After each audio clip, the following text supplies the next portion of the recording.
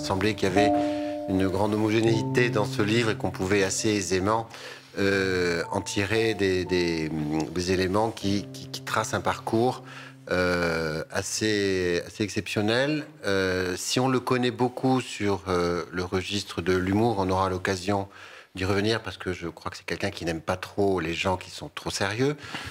C'est aussi un livre qui a des moments de, tendresse, d'amour, et qui est aussi un véritable éloge de l'amitié, toutes choses sur lesquelles nous allons euh, débattre, euh, nous entretenir euh, maintenant. Alors, je ne suis pas très original parce que je vais remonter aux origines, d'autant que pour partie, mais ça, on ne va pas s'arrêter trop là-dessus, elles ont un petit côté bordelais et béarnais. euh, hein. Euh, néanmoins, vous, vous avez, euh, c'est quelque chose qui traverse quand même de manière extrêmement sensible ce livre. Vous avez, comme tout le monde, un père et une mère. Vos parents se sont euh, séparés assez tôt et, et votre mère s'est remariée avec le fils d'Alfred Cortot, le, le grand pianiste, immense interprète de, de Chopin. Jean Cortot, son fils, était, était peintre. Il l'est toujours. Et il l'est toujours. Euh, et euh, vous dites d'ailleurs que par rapport à votre parcours, si vous devez l'amour du théâtre, sur lequel nous reviendrons aussi euh, à votre mère, vous devez aussi l'amour euh, de la peinture euh, à Jean Cortot. Néanmoins, votre père est très loin d'être absent de, ce livre et j'y reviendrai parce que c'est un, il y a un passage qui est absolument bouleversant dans ce livre, en tous les cas qui m'a bouleversé et qui m'a même fait pleurer. Pourquoi m'en cacherais-je? Voilà. Alors, ses origines. Bah, mes origines, ju- justement, je je voulais pas commencer ce livre par mes origines. Je j'ai refusé pendant 15 ans de faire un livre de souvenirs ou un livre dit autobiographique qui raconte sa vie parce que parce que je trouvais que c'est on, est finalement que que les bêtises qu'on écrit, qu'on fait, euh, ces, films, ces, ces pièces de théâtre ou autres petites livre qu'on a publié, donc je ne voyais pas l'intérêt vraiment de, de me raconter. Donc j'ai essayé de ne pas me raconter, de raconter presque quelqu'un d'autre qui me ressemblait, parce que j'avais pas envie de faire du nombrilisme. Donc j'ai pas commencé par les origines. C'est un livre qui va par, euh, je dirais, par euh, hockey, par gambade. C'est un livre que j'ai voulu faire naturellement, c'est-à-dire que j'ai voulu faire euh, parce qu'il me revenait comme ça, une idée. Alors je l'écrivais parce qu'elle me plaisait, parce qu'elle m'amusait. Et c'est vrai que ce que je trouvais savoureux, c'est de, de, dire avec autant de, de passion d'intérêt ou d'amusement les, travaux que j'ai fait par exemple avec Alain René quand j'ai écrit euh, quand j'ai écrit euh, Cœur, son, film adapté d'une pièce de Heckbourn, euh, à, équivalence d'intérêt avec mon goût pour les, les lanières à la guimauve.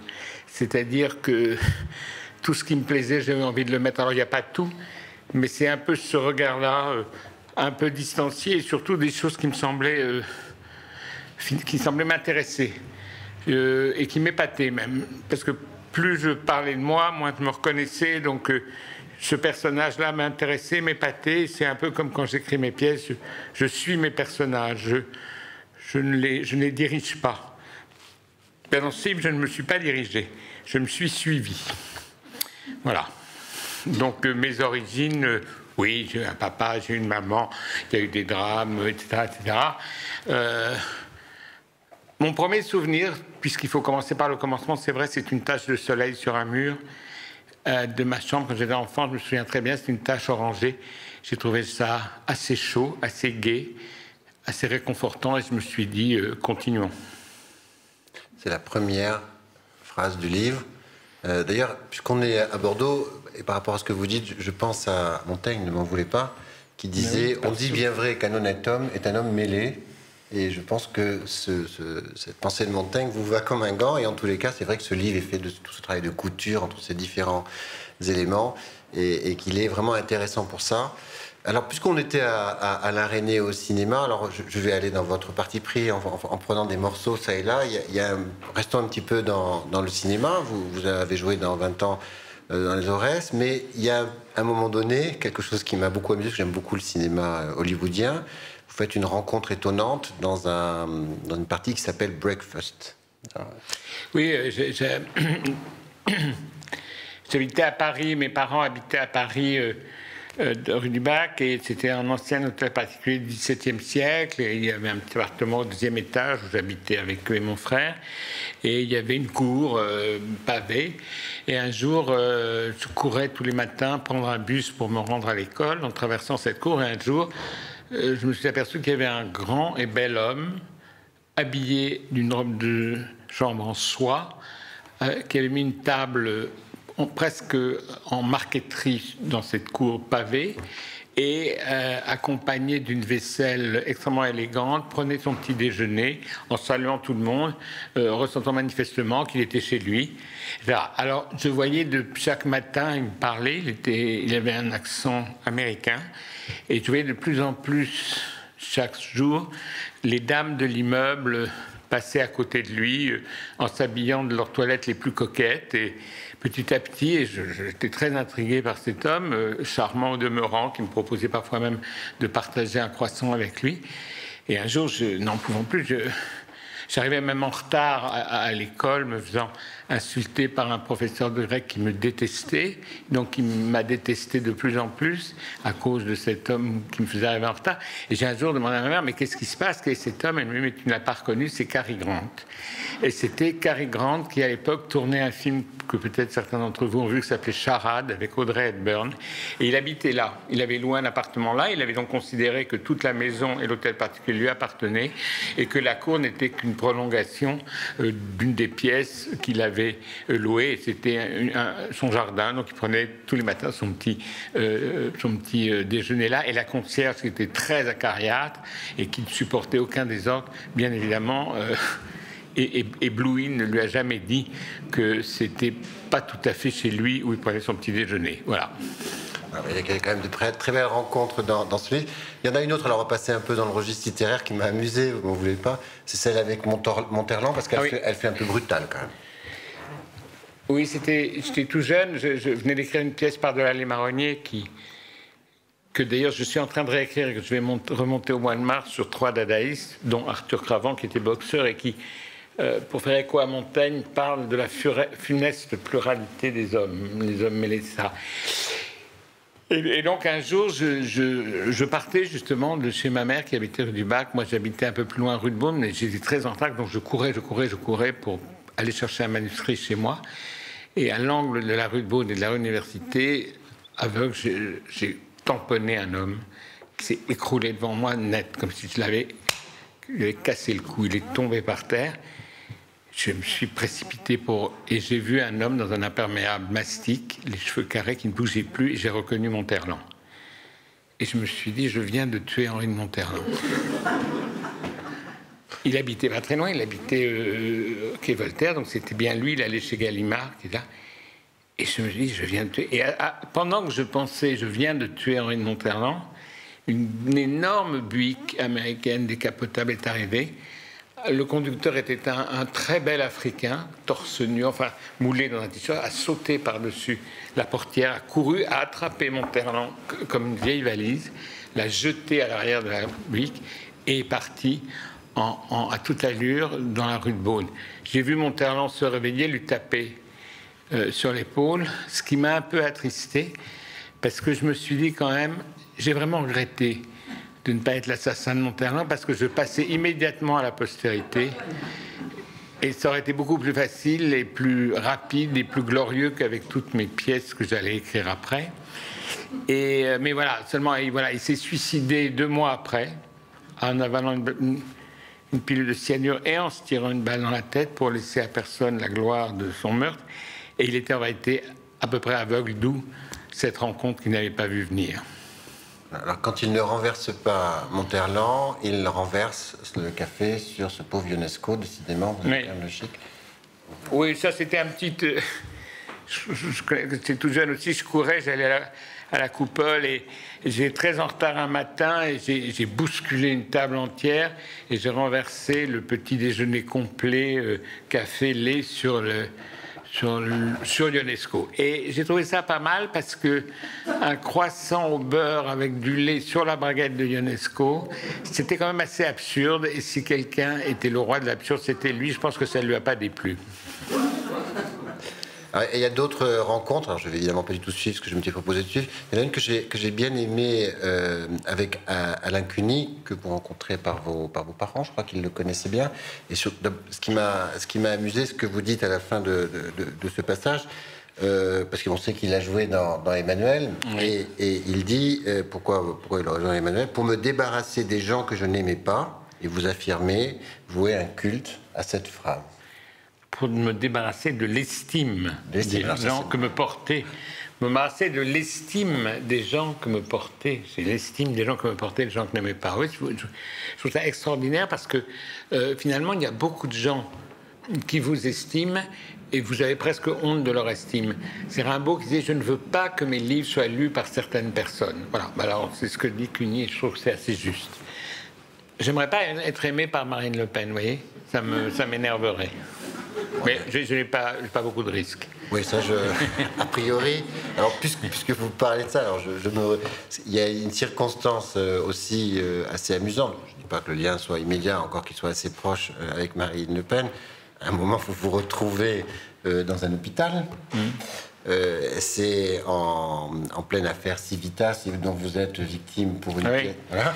Et vous, pouvez raconter, parce que vous raconterez sans doute beaucoup mieux que vous. Non, on avait, on avait, enfin ça c'est sûr, on avait euh, le théâtre du point que je dirige a comme euh, dogme absolu de ne monter que des auteurs vivants. Il y a assez de monuments aux morts, je trouve que monuments aux vivants c'est bien aussi. Puis euh, Shakespeare, notre contemporain, et quoi de neuf Molière, j'en ai un peu marre. Donc il y a aussi des gens aujourd'hui, des poètes d'aujourd'hui, des gens qui disent aujourd'hui et qui racontent aujourd'hui. Donc c'est ceux-là qui j'ai voulu donner l'hospitalité.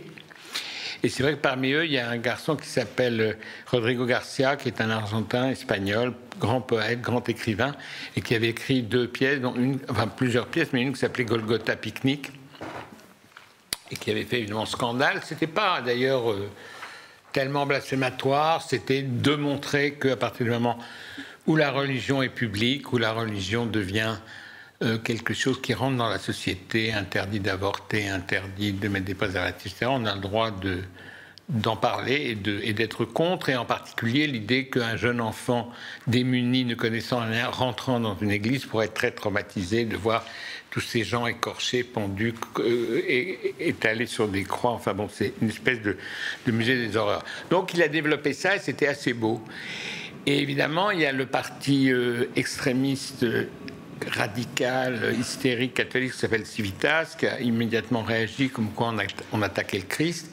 Je crois que c'est eux qui faisaient une très mauvaise publicité à, ce Christ qui est plutôt un jeune poète émouvant et donnant le pardon. Et donc qui ont euh, mobilisé des troupes et qui chantaient euh, euh, tous les jours pendant qu'on jouait cette pièce, protégée par 400 CRS quand même, parce que j'avais reçu 150 menaces de mort, plus des couteaux laissés dans le théâtre des, attaques la nuit, cassant les portes, des systèmes d'alarme, des cutters où il y avait écrit Christ sur la lame. Enfin, vraiment, une vraie attaque. La, préfecture de police avait considéré qu'on devait être protégé comme un G8, donc il y avait 400 CRS qui nous protégeaient. Et nous, moi j'étais assez content parce qu'il y avait du théâtre dedans et du théâtre dehors. Et euh, ils chantaient d'ailleurs tous les soirs, 500 personnes, tenues un peu loin, chantaient Pendez, pendez Jean-Michel Ribes dans son théâtre de Satan les, les paroles étaient pas mal. Le problème, c'est qu'ils chantaient un peu faux. Mais sinon, c'était assez intéressant. Et donc, euh, ils voulaient vraiment ma peau. Euh, ils étaient d'une violence incroyable. Et je dois dire d'ailleurs que, pour être tout à fait honnête, les gens qui nous le plus soutenus sont des catholiques modérés, des prêtres, des évêques nous sont venus nous défendre. Et euh, donc, ils voulaient ma peau. Et, les, menaces de mort que je recevais étaient vraiment pas toujours très drôle. Et six mois après, j'étais à, Nancy où on présentait un opéra bouffe qui s'appelait René l'énervé, René l'énervé étant Sarkozy, euh, euh, euh, qui, était, qui était un opéra bouffe plutôt amusant. Et donc, à la sortie de l'opéra de Nancy, j'ai été très très violemment agressé par des membres de Civitas qui m'ont ceinturé et qui m'ont déversé plusieurs cajots remplis d'excréments de chiens dans lequel il y avait d'ailleurs des, tracts sur Jésus, etc. Ce mélange, c'était un peu mettre quand même la religion dans la merde, si j'ai bien compris, c'était pas ce qu'il cherchait, mais c'était ça. Donc je savais qu'il me, me cherchait. Quelques temps après, des années après, j'ai eu un petit problème cardiaque, j'ai été emporté et soigné dans un hôpital à Paris, l'hôpital Cossin. On m'a mis là pour deux nuits pour me surveiller. Et la première nuit, je dormais. Ah, tout d'un coup, le néon s'allume. C'était 11 heures du soir. Une petite dame entre, infirmière de garde, me dit Je suis infirmière de garde, etc. Elle prend mon dossier, me met des perfusions, enfin s'occupe ça. Puis tout d'un coup, me dit Je vois d'ailleurs qu'elle avait un grand cœur euh, sur sa blouse en, métal. Je me dis Oui, truc cardiaque, c'est normal. Or, en vérité, c'était le cœur de, Civitas. Et euh, je ne le savais pas. Elle me dit, vous savez, ah oui, vous, allez, vous dirigez en point, oui, mais moi j'y étais pendant 12 jours, tous les jours. C'était formidable, une spectatrice assidue. En vérité, elle faisait partie du mouvement Civitas. Et là, panique me prend. Je me suis dit, ils viennent m'achever euh, à l'hôpital. Surtout qu'elle me dit, vous savez, moi je ne suis pas à l'hôpital, je suis venu une nuit en remplacement. Donc je me dis, ben voilà, je suis bon. Euh, elle me donne des médicaments que je recrache en douce. Euh, je, fais des perfs, elle me fait des trucs. Et puis d'un coup, enfin, ça dure assez longtemps. Moi, j'avais, une tachycardie qui montait. Je me dis. Et, tout d'un coup, elle, elle s'agenouille à côté de moi, de mon lit, je ne pouvais pas bouger. Ah oui, non, à un moment, je me dis, il faut que j'appelle l'infirmière de garde. Mais euh, j'oubliais que l'infirmière de garde, c'était elle. Donc ça servait pas à grand-chose. Et elle s'est assise à côté, enfin, ça, elle s'agenouille, elle me dit Monsieur Rib, il va falloir vous confesser parce que Dieu veut vous parler. Je me suis dit Bon, ben voilà, il va y avoir l'extrême onction, ma, ma, vie va s'arrêter là. Et puis, euh,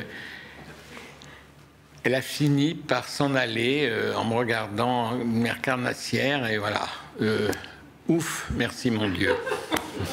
Voilà, c'est une histoire incroyable, mais c'est quand même une histoire qui, tout d'un coup, sans être paranoïaque, vous met dans des états de, qui ne sont pas bons pour les infarctus. Alors, on peut croire que les artistes sont toujours des êtres parfaitement engagés et respectables. Alors, il y a quand même, un, par rapport à, quelque part à cette histoire, il y a un moment qui est, assez lucide, c'est euh, l'épisode qui s'appelle Aux armes. Euh, Jean-Jacques Cheval, Jean-Jacques qui s'appelait le, maire Front National de Toulon quand ils, ils démettent, ils veulent démettre, euh, ils démettent d'ailleurs de ses fonctions le directeur d'un théâtre et euh, un certain nombre euh, d'intellectuels et d'artistes se rassemblent dans une gare à Paris, je ne sais plus laquelle c'est. Bah, c'est la gare de Lyon. Oui, parce que moi je suis trop habitué à Montparnasse. Mm. Et donc tout le monde se réunit. C'est-à-dire qu'il y avait, oui, il y avait, il y avait, il avait un, acte très très violent quand les gens du Front National avaient pris la mairie de Toulon et le maire en effet avait destitué un type formidable qui avait fait un, grand centre de danse très libre, des tas de jeunes faisait une chorégraphie, etc. avait décidé de terminer parce que la raison invoquée, je crois que c'est parce qu'il n'avait pas voulu euh, accepter une pièce ordonnée par la mairie, parce que la mairie n'avait pas à faire la programmation. Enfin bref, un conflit mineur, il en avait profité. Bon. Donc évidemment, toute la population euh, euh, théâtral, intellectuel de Paris, avait fait aux armes, aux armes, allons le défendre, etc. Nous louons un train spécial pour descendre à Toulon. Donc euh, plein d'artistes, euh, Jean-Paul Belmont, enfin des tas de gens se mettent, on arrive tous garde de Lyon devant le train photo, le train va partir, attention, on descend à Toulon. Donc, photo, photographie de tous les artistes qui, partent Et puis on dit attention, le train démarre. Moi, je monte dans le train avec Bertrand Tavernier et, plein de jeunes militants, et on avance et on ne voit personne. On ne trouve personne. C'est-à-dire qu'on dit mais où ils sont? Eh bien, ils étaient venus juste faire la photo et quand le train est parti, hop, ils sont restés à Paris. Et nous, on est partis seuls avec Tavernier. Et je veux dire que c'était héroïque parce que j'ai passé la nuit dans un wagon avec Tavernier, qui était un type qui a beaucoup de talent, je connais depuis longtemps mais qui parle énormément. Donc, euh, je n'ai pas fermé l'œil de la nuit et euh, voilà, je suis arrivé pour manifester avec un peu de fatigue contre, pour libérer euh, la création à Toulon. Alors, on pourrait trouver ça surprenant, mais en fait, à un moment donné, il y a un passage aussi qui est assez comique où vous faites l'éloge de l'ennui à travers une expérience que vous vivez dans un hôtel parisien avec les Jacques, Jacques euh, Dutronc et Jacques Villeroy. En fait, l'ennui est un, est un magnifique moteur pour l'existence et procure des sensations extrêmement vives.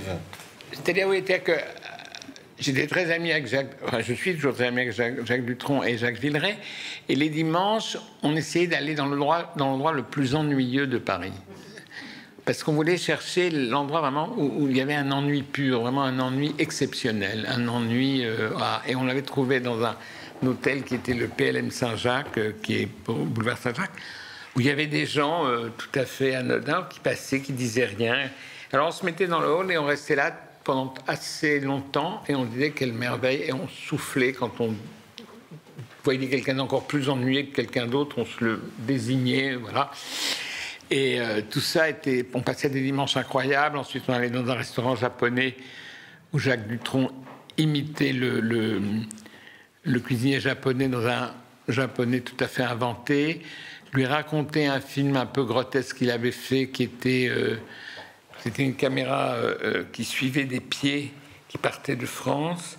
Et sur une carte, ça partait France, Allemagne, Russie, ça arrivait jusqu'en Asie. On arrivait enfin euh, au, Cambodge, puis au Vietnam. Et à ce moment-là, le type dont les pieds étaient, enfin à qui les pieds appartenaient, s'arrêtait et faisait une énorme flatulence. Et le film s'appelait Paix au Vietnam. Et il, mourait, et, il mourait, il mourait de rire en demandant au cuisinier japonais s'il était content de ça. Le japonais lui disait pour la centième fois qu'il n'était pas du tout euh, vietnamien mais japonais, il n'avait rien compris. Et ensuite, nous retournions dans le hall de cet hôtel fort ennuyeux et nous achetions dans la boutique de l'hôtel toutes les choses pour les touristes, c'est-à-dire des, portraits, des reproductions de la Joconde, de l'Arc de Triomphe, de la Tour Eiffel. Nous sortions dehors et comme cet, hôtel était tout près de l'hôpital Sainte-Anne, il y avait tous les fous qui, étaient, se promenaient euh, le dimanche après-midi, parce que le dimanche, qui était en promenade, et à qui nous distribuions des, Jocondes et des Tours Eiffel. Et ils venaient très vite vers nous parce qu'ils voyaient bien qu'on était à peu près dans le même état qu'eux. Et on se quittait vers 5 heures du soir en se disant on va s'ennuyer toute la semaine, vivement dimanche prochain qu'on s'ennuie vraiment. Alors, ce qui me permet euh, de, suivre avec, avec ce qui est une de vos caractéristiques, c'est que vous êtes quelqu'un qui est quand même contre, l'esprit de sérieux et qui pratiquait l'éloge du rire. Alors, je, cite des, choses. Euh, vous, moi, je mets vous avez une allergie à l'esprit de sérieux, allergie que vous partagez avec Claude Régis, qui passe, que vous définissez comme ça, je trouve cette formule très belle, qui passe au-dessus du langage. Et après, euh, la spiritualité sans humour n'est qu'une cathédrale sans Dieu vous. Mais vous citez Picabia, les gens sérieux ont une petite odeur de charogne, ou Topor, le sérieux n'est que la crasse accumulée dans des crânes vides. Donc manifestement, vous avez euh, quelque chose contre l'esprit de sérieux. Bah, euh, je pense que tout le monde a l'esprit de sérieux. L'esprit de sérieux, à force d'être dans le raisonnement, dans la, dans la règle, etc., c'est quelque chose qui finit par boucher les idées. C'est un peu le cholestérol de l'imaginaire. Et on ne peut plus s'évader vers le rêve, on peut euh, s'évader surtout vers ce qui me semble être l'oxygène absolu de, de, nous pour lutter contre la, réalité et surtout cette réalité qui nous écrase tous les jours, c'est la fantaisie. S'il n'y a plus de fantaisie, c'est la mort. Et l'esprit de sérieux est l'ennemi absolu de la fantaisie. Et je pense que, euh, voilà, je crois que, comme le disait Aragon, il faut creuser des galeries vers le ciel, il faut s'évader des. Vous savez, on nous dit toujours faut regarder la réalité en face. Mais quelle réalité? La vôtre, la mienne, etc. Il y a, un, surréaliste belge que j'aime beaucoup qui s'appelle Skultner qui disait il ne faut pas regarder la réalité en face, il faut regarder la réalité en farce. Et je pense que c'est ce qui nous permet d'avancer de continuer à vivre. C'est ça l'humour de résistance, c'est ça. On ne peut pas être à genoux devant uniquement le raisonnement des gens qui savent. Ça tue la pensée, il faut aller ailleurs. Le théâtre, le cinéma, la poésie est fait pour que on dit aux gens il y a d'autres univers, il y a d'autres. L'utopie est, quand même la seule chose qui me semble euh, vivable et on ne peut pas rester euh, coincé dans la réalité. Elle ne nous aime pas la réalité. Vous avez remarqué en ce moment, elle ne nous aime pas. Donc nous, on n'a pas raison de l'aimer. Et c'est vrai que l'esprit sérieux euh, participe beaucoup à l'enfermement. à l'enfermement de la vie finalement, qui est quelque chose qu'on ne peut pas euh, encadré par des règles. Il faut toujours avoir la possibilité de sortir et avoir des issues de secours. Je pense que la littérature, les créateurs sont des issues de secours qui nous montrent que tout n'est pas foutu.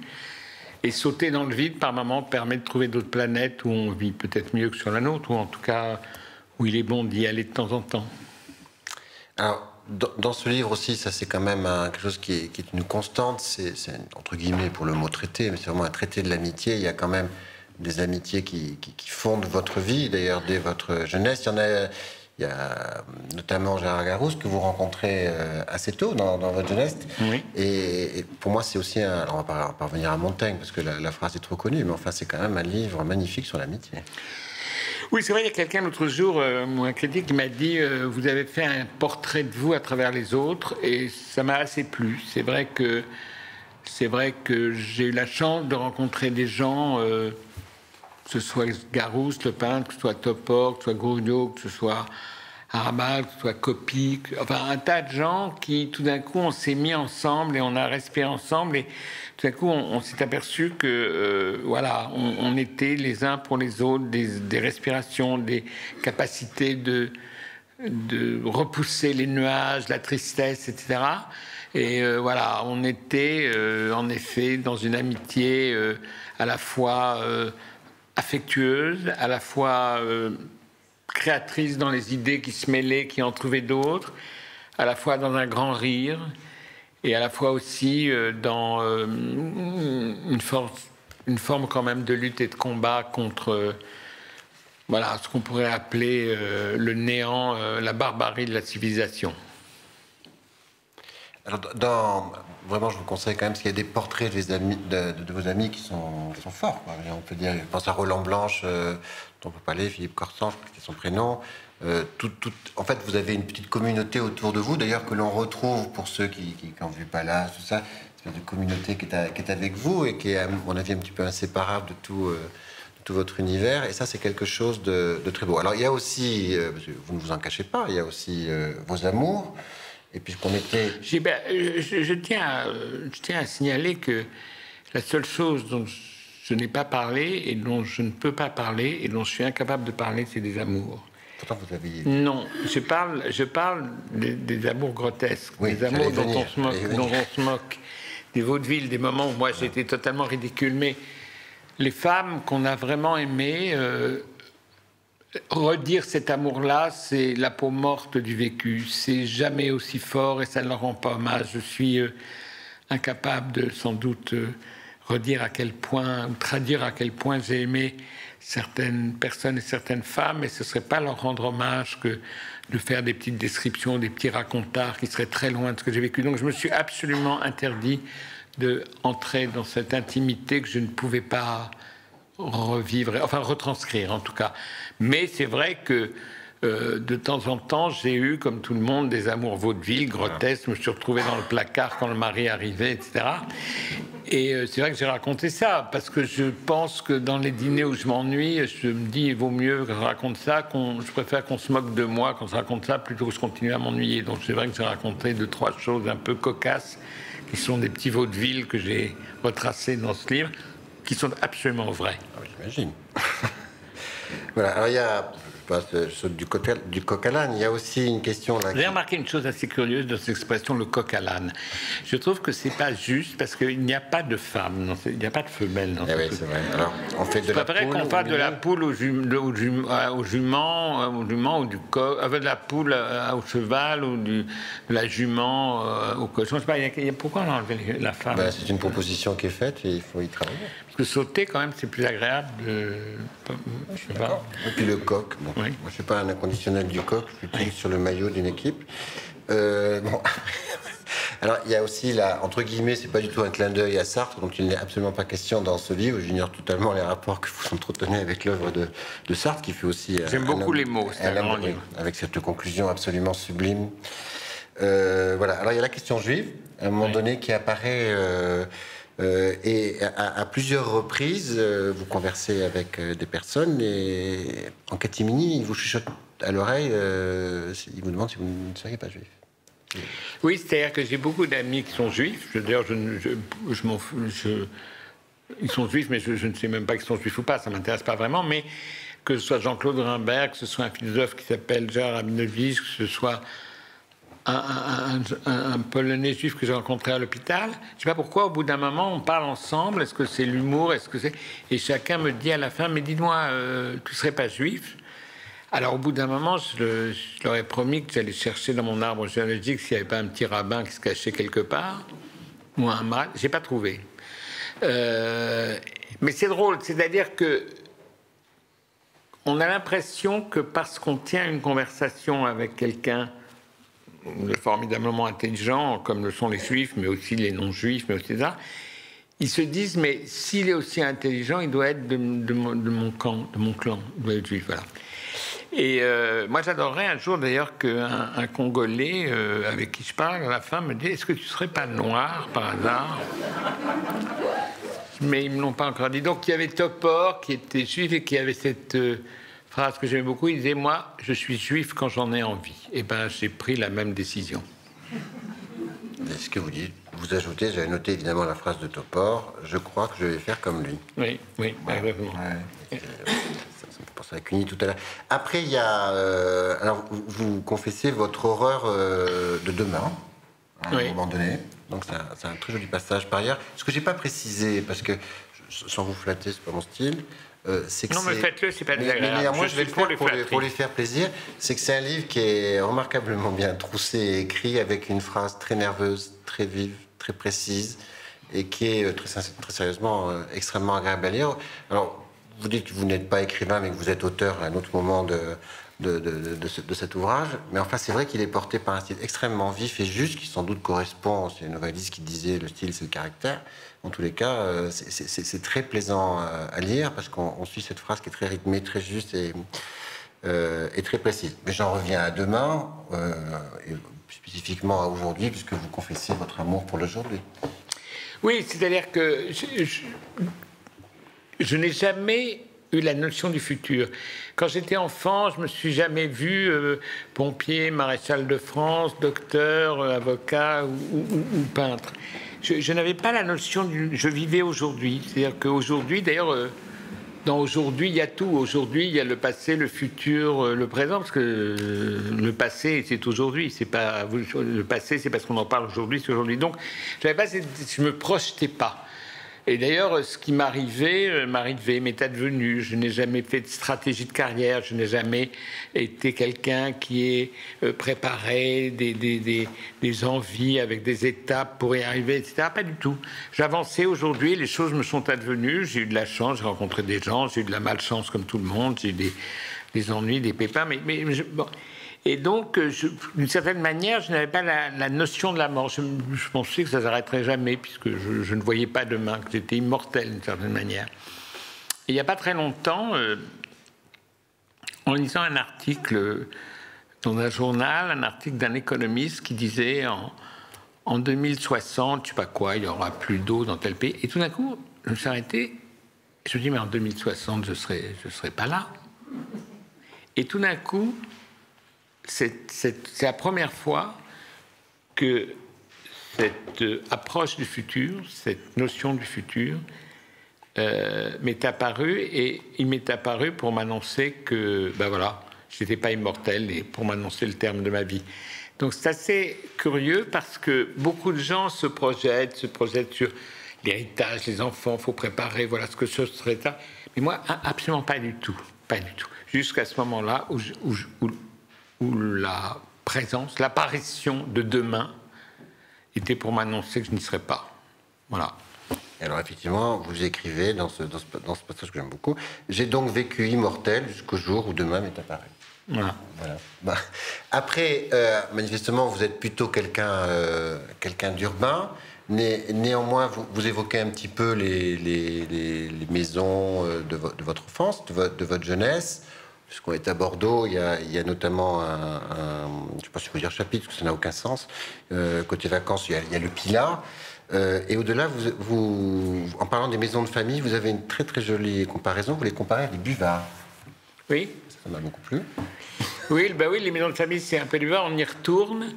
Euh, les souvenirs ont séché comme de l'encre mais on revoit bien euh, les dessins de ce qu'on a vécu. C'est plus ça d'une jeunesse euh, où on ne savait pas à quel point les thérapies étaient courtes. Voilà. Mais c'est vrai que c'est un peu, voilà, c'est les traces.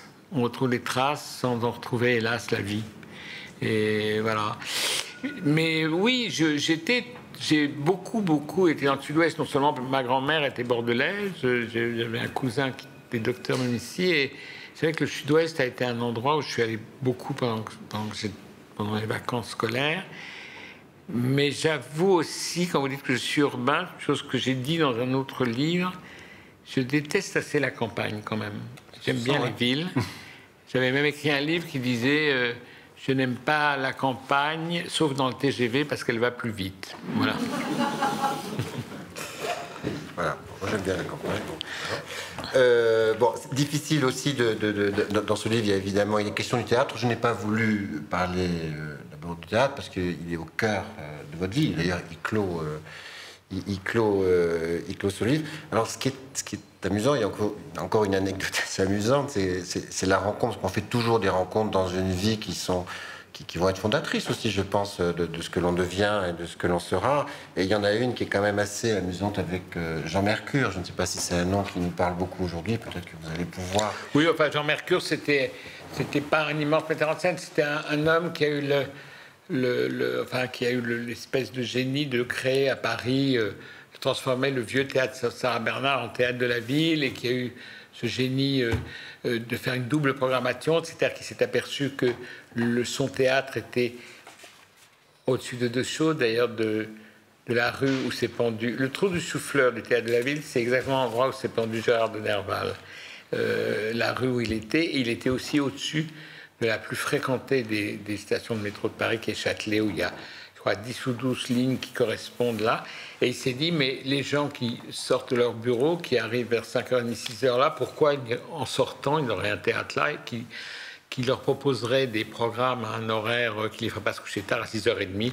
Il a inventé cet horaire qui a formidablement bien marché. Il est aussi après un deuxième spectacle à 21 Je m'en suis inspiré au théâtre du Rond-Point et ça fonctionne très bien, même si on n'est pas au-dessus d'une grosse un gros trafic métropolitain. Voilà, c'est un homme que j'ai beaucoup aimé.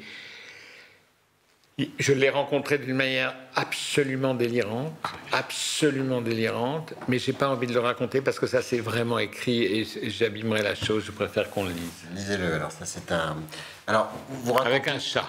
Vous racontez aussi que vous avez eu la chance, malgré tout, dans vos débuts au théâtre, de rencontrer quatre critiques. Alors, de mémoire, ne m'en voulez pas. Il y avait Mathieu Gallet, il y avait Bertrand Poirot-Delpech, Jacques Le Marchand et Philippe euh, Tesson. voilà. une bonne mémoire, bravo. De, mémoire. Euh, je précise que Jacques Le Marchand est d'origine euh, bordelaise et que les critiques qu'il a pu faire de théâtre pas seulement à la NRF, mais notamment à la NRF dont il était lecteur, sont absolument admirables. Je ne saurais trop vous recommander de le lire aux éditions Claire Pollan.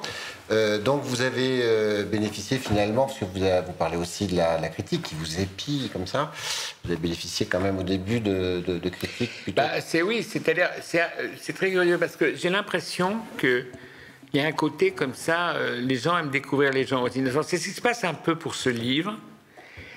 C'est que moi, je débarquais, je n'étais pas connu, et puis tout d'un coup, ils ont vu une de mes premières pièces, et ils ont eu le plaisir, de, comme ça, de, se dire on a découvert quelqu'un, et j'ai été très porté par, certains critiques, Marc Abreu aussi après.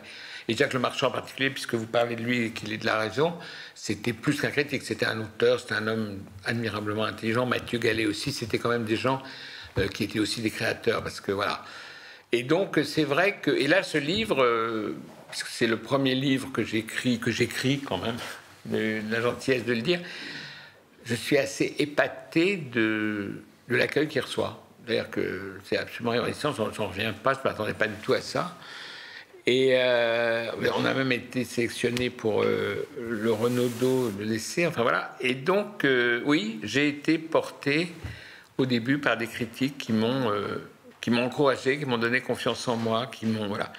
Mais rassurez-vous, euh, j'ai été assassiné très vite après, euh, plus qu'il va. Mais l'assassinat a quelque chose de bien, c'est que si vous mourrez pas, ça vous permet de ressusciter plusieurs fois. Et donc voilà. Et moi, en conclusion, je pense, euh, parce que j'ai eu beaucoup de, beaucoup de peine pour certains critiques qui n'arrivaient pas à m'assassiner, parce que je suis toujours vivant. Et je me suis dit que finalement, la critique était beaucoup. La critique est difficile et l'art est facile. Car quand vous avez allez, prenons un grand auteur qui n'existe pas, comme vous avez Molière en face de vous, ou Shakespeare, faire une critique de ces gens-là, faut être à hauteur quand même. on ne parle pas de n'importe quoi. Donc, écrire une bonne critique, ça doit être encore plus difficile que d'écrire une pièce qui, eux, leur coulait un peu des mains facilement parce que c'était des génies. Donc, je plains un peu les critiques. Mais voilà, je pense que la critique est indispensable.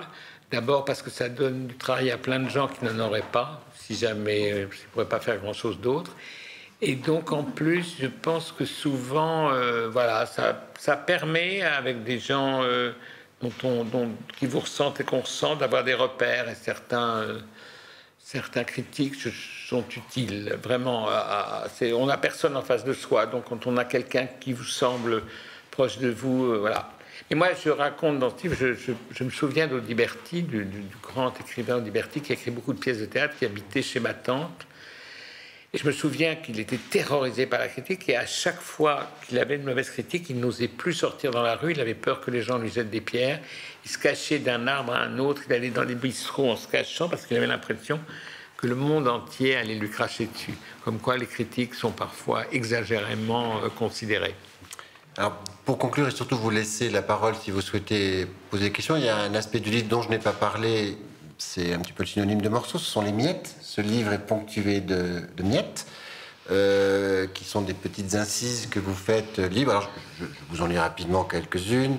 Euh, mais qu'est donc devenu Théodore de Banville, dont petit on me forçait à apprendre les poésies?